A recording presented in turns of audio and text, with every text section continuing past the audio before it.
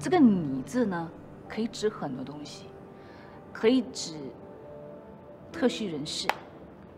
可以指特需人士的家人，可以指特需人士的父母。每一个人从不同角度来面对事情、处理事情，所以你的世界可能从父母的角度来看，你的世界就是特需人士的世界。其实他们都懂，了如指掌，他们都一清二楚，因为他们是 caregiver，他们是照顾这些特需孩子的的人，所以他们非常的懂。当你真的走进另外一个人的世界里，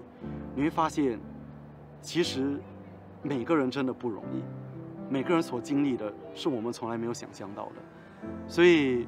要做到你的世界我们懂。首先，你要先走入别人的世界，那然后你真的要去理解他、体谅他的时候，你要懂他的时候，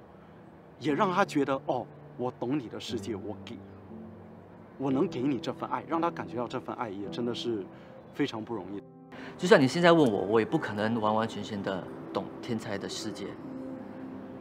但是只要我们我们有努力的去了解，或者想要去体谅。别人或者了解别人，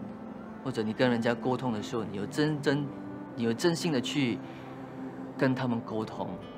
去听他们在讲什么。我觉得这是最重要的。我觉得每一个人都有各自的世界，我们都要学会宽容跟体谅每一个人的想法。可能每一个有一个人他出来的问题，对你来说可能是很小的问题，但对他来说是一个很大的问题。所以我们希望在这一部戏可以诠释出，让大家社会大众看到，其实每一个人都有他自己背后的故事。我们要 try to 去理解他，呃，宽容，因为也只有这样，关系可以继续维持，社会才可以继续的更加的进步。